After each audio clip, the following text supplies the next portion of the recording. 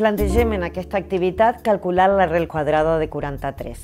Aquesta ha sigut una molt bona oportunitat per parlar la diferència entre el concepte d'arrel quadrada i l'algoritme de l'arrel quadrada. Un applet que nosaltres fem servir molt per a aquest tipus de coses és aquest. Creiem que és alguna cosa així com una nau espacial que vol trobar un meteorit que està per aquí. Està en el 12,26. Per tant, si jo tinc aquí tots els nombres entre el 0 i el 100, el 12,26, en quin interval estarà?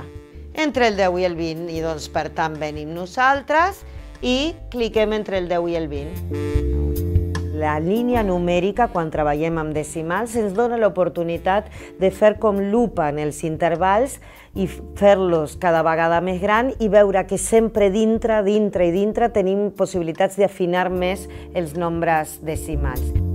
Doncs ara nosaltres continuem amb la intenció d'ubicar el 12,26.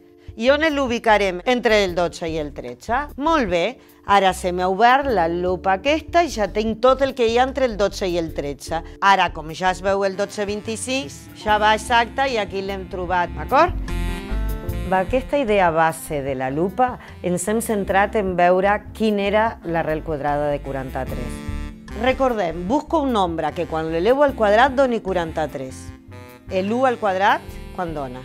5 al quadrat, 6 al quadrat, 7 al quadrat. Què ha passat aquí? Per què has fet així? M'he passat, sí? En el 6 al quadrat donava 36 i en el 7 al quadrat m'he donat 49. Què passa? Que ja sé de, de totes totes que no hi ha cap nombre natural que elevat al quadrat doni 43. A partir hem fet l'efecte lupa. Si ja sabem que està entre 6 i 7, hem de descobrir si està entre 6,1 i 6,2, entre 6,2 i 6,3, etc. I ahir el que hem plantejat és una feina cooperativa. Jo vull buscar un nombre que quan el multiplique per el mateix em doni 43. Mireu les que ha fet la Maria. 6,5 per 6,5 li ha quedat 42,25, o sigui que no ha arribat al 43. Però quan ha fet 6,6 per 6,6, s'ha passat. Per tant, la lupa ara on l'hauré de posar? Ahí, l'arrel quadrada de 43 està entre 6,5 i 6,6. I per tant això ens donava l'interval segon, el qual tornaríem a estendre i tornaríem a buscar amb més detall l'arrel de 43. I és així que descobrim totes les xifres decimals de l'arrel quadrada. El nombre exacte? No, perquè quantes xifres decimals tindria? Infinites. I nosaltres no, no arribarem mai a infinites.